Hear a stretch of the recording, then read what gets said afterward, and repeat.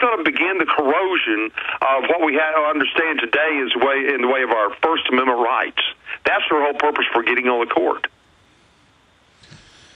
Would you agree or disagree? Oh, I've listen. I've read also, these. She cites. She's a big friend of Cass Sunstein. She mentions him in this 1996. Well, he's the one that brought her into Harvard, and of course, she's a former Goldman Sachs member, and and and he he minces no words. He says, "I want to arrest people," and we've read his quotes.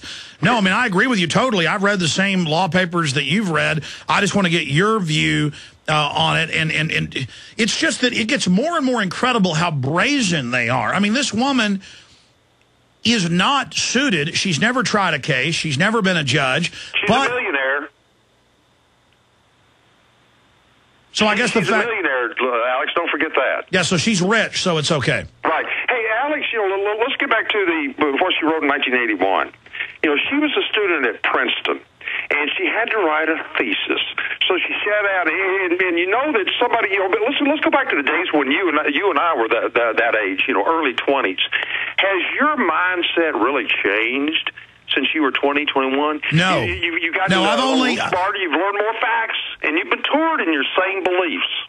Yes, my, yes, I was I was pro Second Amendment, pro property rights, patriotic American, and uh, my parents passed on what I can now look back in hindsight the proper you know view, the only view, pro liberty, true freedom, true individualism, and it's only become more seasoned and more intense.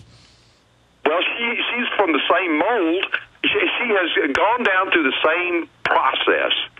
She was socialistic. She wouldn't sit down and write 130 pages about the history of socialism in a 20-year period at the first part of the 20th century, 1901 through about 1919, 1920.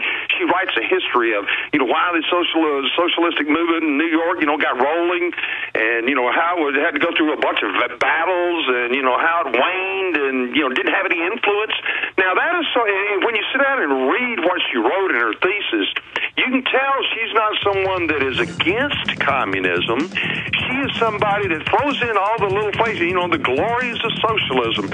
She loves it. Now, if Well, stay there, was- stay there. You've got the thesis, and I haven't seen anybody cover this, so I'm glad you ferreted this out. Larry Becraft, constitutional lawyer and scholar, is our guest. We're going to come back and go through her writings, go through what this thesis says, and uh, then I'm going to ask him about this new Second Amendment ruling.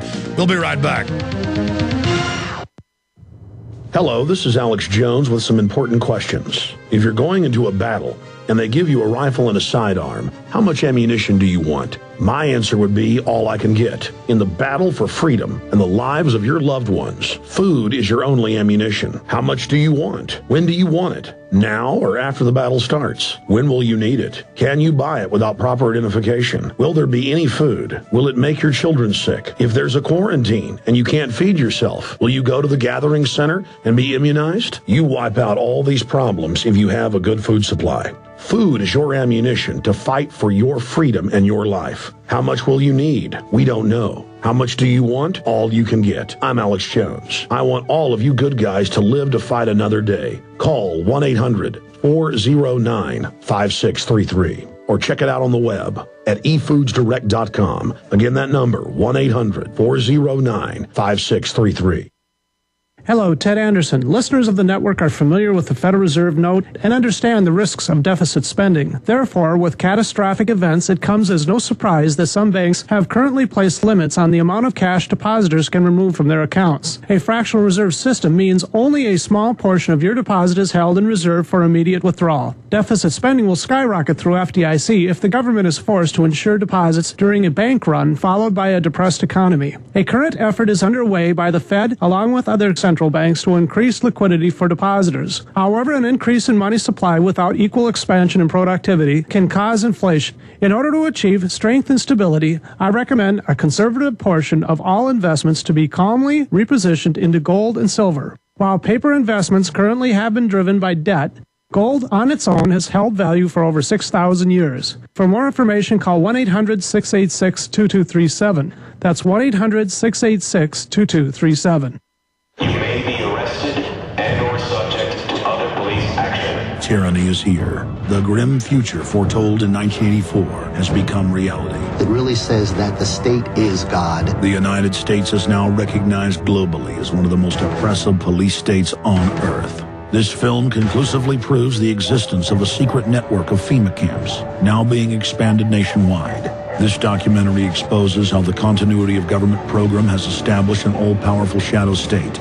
Police State 4 chronicles the sickening depths to which our republic has fallen.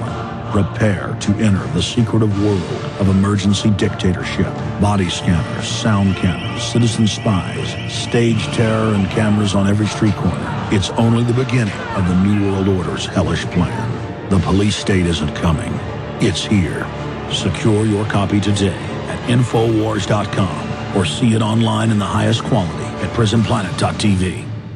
If you suffer from poor sleep, you've got to try My Pillow. Introducing the most revolutionary, most comfortable, and coolest pillow ever, My Pillow. Imagine your very own custom fit pillow. My Pillow is the only pillow of its kind on the market that uses a patented fill, custom made to your exact individual needs. My Pillow is 100% made in the USA and has a natural built-in cooling effect that keeps your cervical nerves cool, and that helps you get the best REM sleep possible. My Pillow helps alleviate snoring, migraine, sleep apnea, and other sleeping disorders. My Pillow is antimicrobial, non-allergenic, dust mite resistant, machine washable and dryable, comes in many sizes and will not go flat. And best of all, My Pillow comes with a 10-year warranty and a 60-day money-back guarantee. So what do you have to lose except poor sleep?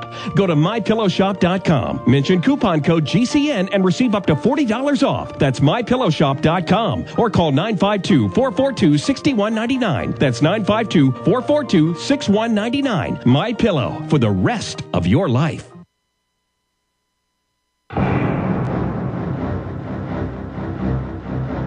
Larry Becraft, constitutional lawyer, is our guest. We're looking at the confirmation of Elena Kagan. Will she be confirmed? Republicans are leaning towards, at least the leadership saying they're going to confirm her.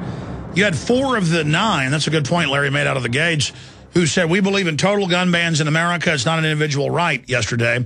And the way I read that decision is, but, but we'll talk about this in the next segment with him, is that, oh, you got a right, but we can regulate it down to nothing. And so this is the first time the Supreme Court, from my knowledge, has ruled that they have a right to start restricting. So I see it as a big defeat um, uh, overall, kind of like the last ruling. Say, well, we can regulate and restrict them. You just can't be a total restriction. Uh, but we'll get Larry Becraft's take on that coming up later. Larry, getting back into her thesis, here it is, conclusion to the thesis as she's basically just talking about why the poor socialist didn't completely take America down and like they were able to in the Soviet Russia. Please continue. Well, Alex, I think her conclusion, you know, this is a lady that wrote about for 130 plus pages in her thesis the glories of socialism. She examined a 20 year period. It shows to me she's uh, she's studying exactly what she likes. Now, the, the, the conclusion is a very good demonstration of how she feels. Could I read the very last paragraph of the conclusion of her thesis? Oh, no, read all the quotes you want directly well, from her. Right through its own internal feuding, then, the Socialist Party exhausted itself forever and further reduced labor radicalism in New York to the position of marginality and insignificance from which it has never recovered. The, the story is a sad but also chastening one for those who, more than a half a century after socialism's decline, still wish to change America. Radicals have often succumbed to the devastating bane of sectarianism. It is easier, after all, to fight one's fellows than it is to battle an entrenched and powerful foe. Yet, if the, the history of local New York shows anything, it is that American radicals cannot afford to become their own worst enemies. In unity lies their only hope. She penned these words. She wants she wants the forces of socialism that were battling each other back in the early part of the 20th well, they're century. a pack of parasites. They can never in the battle to unite and become America's radicals. And, and and of course they can't ever work together. They're a bunch of parasites a bunch of vampires, and they can't vampires can't feed on vampires. But the big banks literally finance these monsters because they socialize working people's wealth and then give it to themselves. And the poor working people that got conned into socialism, they end up in a work camp. Did you see her yesterday and today? The way I've never seen somebody in a confirmation hearing uh, for the cabinet, for the military, scowl and act crazed. She is so arrogant. I mean, did you see that? Well, I heard your comments yesterday, you know, only because of what you said yesterday. Did last night I watched on the boob tube some coverage of it, and I agree 100% with what you had to say. She was scowling. I, you know, hey, she's scary to look at. What more do you need to say, Alex? Well, I mean, yeah, I see people that aren't the classic attractive all the time, but if they have a jovial